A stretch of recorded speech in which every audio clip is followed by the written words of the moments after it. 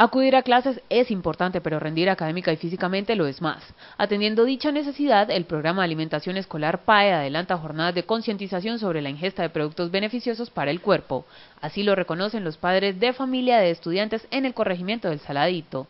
La verdad que se haya promocionado la tienda escolar aquí en la institución ha sido muy bonito porque uno puede que los niños eh, se nutran saludablemente y que ellos conozcan el producido de la naturaleza. Por ello fue lanzado el modelo Tiendas Escolares Saludables amparado por la ley en el Acuerdo 278 de 2009 y en el Decreto 411 0.200666 del 2010, que obliga a los colegios a venderle al alumnado comestibles bajos en grasas saturadas y azúcares negativas.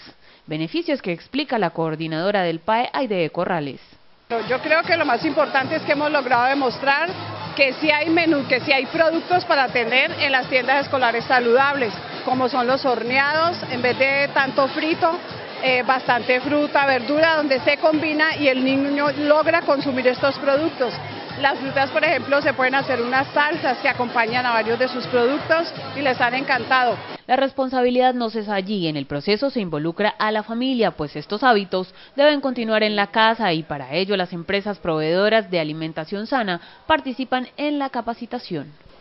Para nosotros traer un producto que es un producto liofilizado, es un producto que tiene un término que realmente no es conocido ni en Colombia ni en el mundo, porque es un proceso nuevo, es un proceso donde se conserva 100% las características originales de la fruta y se le saca el agua al producto para que dure más y para que sea liviano. Estamos muy contentos de estar acá, a los niños les ha gustado muchísimo, hemos tenido una retroalimentación fabulosa y me voy muy contento. Tiendas Saludables fue lanzado con la asistencia de 500 estudiantes de la institución educativa Francisco José Lloreda Mera en el corregimiento del Saladito.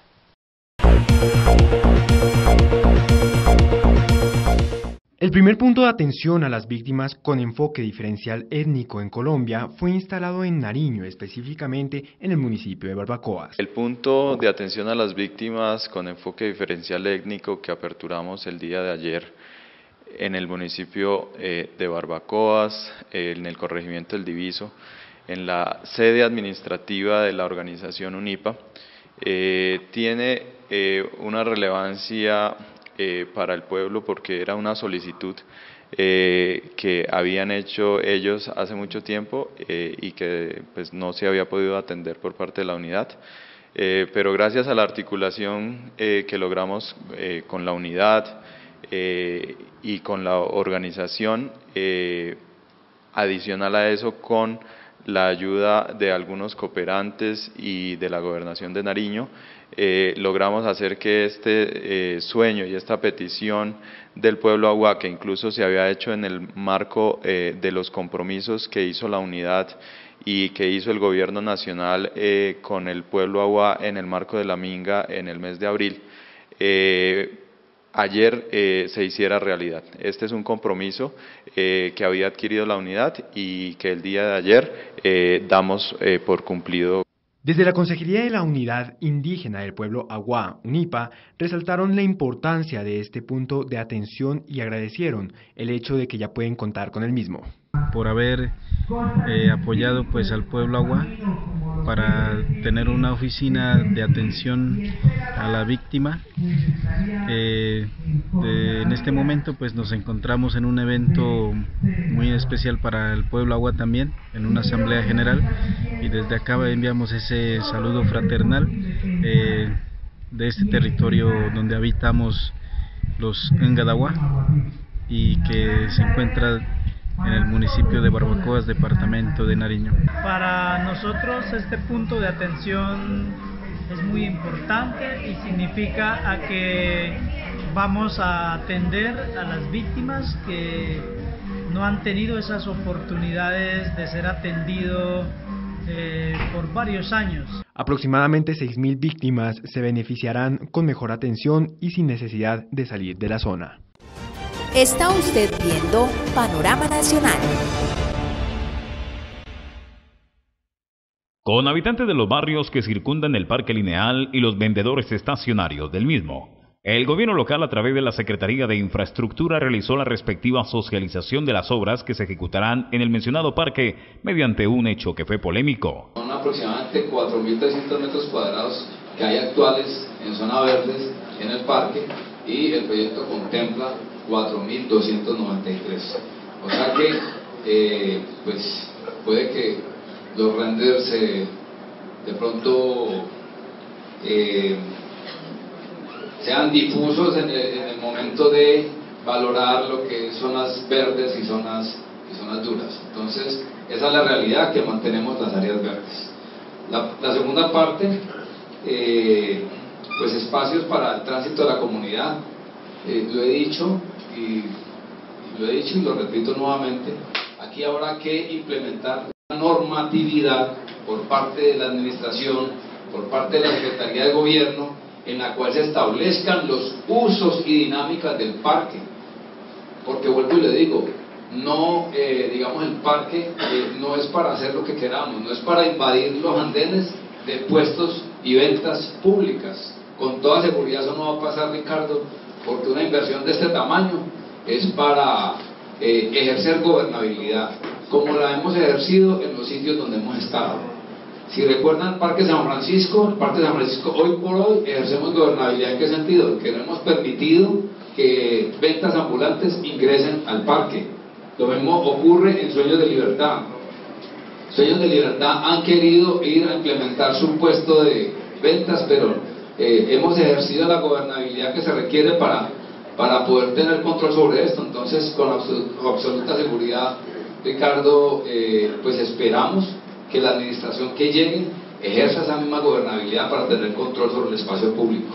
Algunas dudas han surgido respecto a contarse con los estudios de la CBC para el proyecto. Es análisis qué impacto ambiental va a tener este proyecto y ellos nos contestan que apenas van a poner de acuerdo con ustedes para hacer el estudio.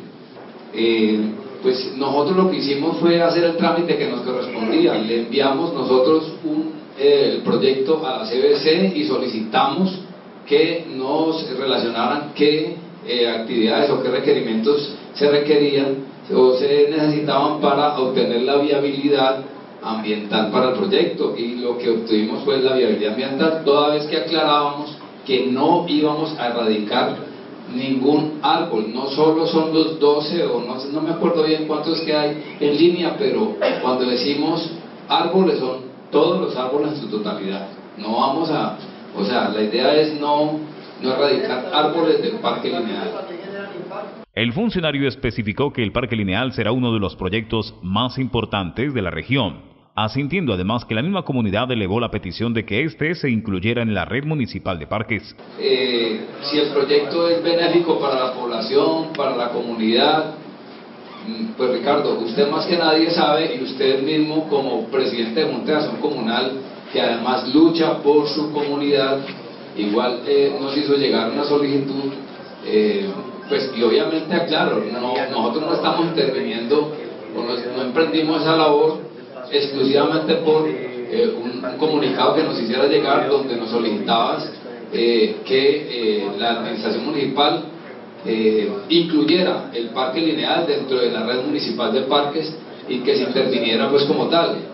pues intervenir el parque como tal es, es hacer esto, es no es entrar a, no es pretender demoler los andenes para todo, volverlo zona verde y sacar a todo el mundo de allí. Eh, yo creo que, yo creo que eh, intervenir el parque es intervenirlo de una manera adecuada, profesionalmente pensado y establecido, de una manera eh, no improvisada, pero sí planeada. Y la dinámica y uso, vuelvo y lo digo, está en manos de nuestra administración para implementar allí una normatividad que permita hacer del parque parque eh, pues que no vaya en contra de una comunidad, que no vaya en contra de la tranquilidad de las personas, ¿sí? Que si el parque hoy por hoy genera tantos decibeles de ruido, pues que los mermemos a la mitad o menos.